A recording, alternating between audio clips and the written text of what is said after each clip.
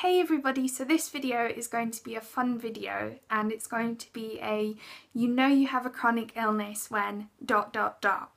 So I want to give a shout out to my friends at Spoonie Strong, which is a Facebook group where a bunch of us that have chronic illnesses get together and it's like we understand one another because we're all kind of in the same boat. So they helped me put together this video by giving me some suggestions of things to include, so thank you very much guys. So, you know you have a chronic illness when you like decorating your medical supplies, and this includes decorating them for the holidays such as Christmas, Easter, Halloween. They're decorated for the occasion. You're on a first name basis with a lot of the medical staff, including the receptionists at A&E. You don't even need to walk up to reception and say your name anymore. They just say take a seat.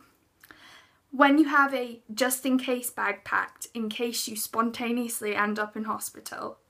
When you find empty tablet strips around your house, literally, I find bunches of these all the time and it's a bit like, where did that come from? When your consultant gives you their home number and mobile telephone number. When you know how your paramedics like their tea because you've seen them so much. Whenever someone sees an ambulance when they're out and about, you always tend to get a phone call asking if you're okay. You have so much medication that you could really start your own pharmacy. You cannot travel light I don't know about anybody else, but I know that whenever I travel, I have to have basically a separate bag for all of my medical stuff.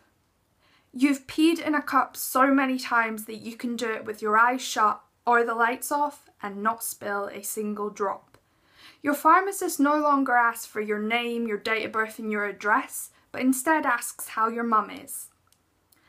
When you can pronounce and spell very complicated medical terms that even some of the medical staff struggle with. When you know the best vein that you can get blood from. Whenever someone phones your mum or your dad or whoever, they ask if you've been in hospital lately. When you watch medical dramas and you can tell if the medical terms are being used incorrectly when you know the price of things such as x-rays and MRI scans and blood tests. Whenever you leave your house, you're always asked, have you got your phone, your keys, your purse and your medication? When you have to pass up the chance of having really cute small handbags because they're just not big enough to fit everything you need in it. When you have to arrange your bedroom around the fact that you may end up with paramedics entering it. On another note, you also kind of have to constantly keep your bedroom tidy just in case spontaneously paramedics have to appear. When a paramedic comes to your house and they say, oh, we haven't seen you in a while. When your friends always ask you for a painkiller or an anti-sickness because you always seem to have them on hand. When each part of your medical equipment has names. And finally, when you go out anywhere, you have to think about where the nearest hospital is who will call an ambulance for you and make sure everyone knows where your medication is. So I hope you enjoyed this video guys and stick around for more. Bye!